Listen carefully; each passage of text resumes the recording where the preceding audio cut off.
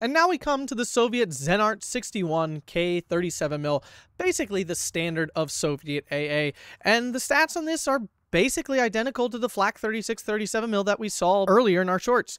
Uh, this unit is as mid as it gets. It does an okay job. It doesn't do a great job. Singularly, with a single vet, this unit oftentimes can struggle to stop a plane even from bombing and definitely will struggle to shoot a plane down. Now, if it's a bad resilience, this this thing will handle it just fine, but it's a very good resilience bomber or something. This is very unlikely to singularly stop the plane. Now, if you get this up to double or triple vet, then it really starts to shine. These actually do really quite well at the double triple vet level, but truthfully, they're real they're real bonus is that you can bring them in with enough availability that they can function well, and you want to create a net of several of these relatively spaced apart that they can at least be two on every plane. And when you're getting two on one plane, they generally perform quite well. Remember to smash that subscribe button for more Steel Division 2 content.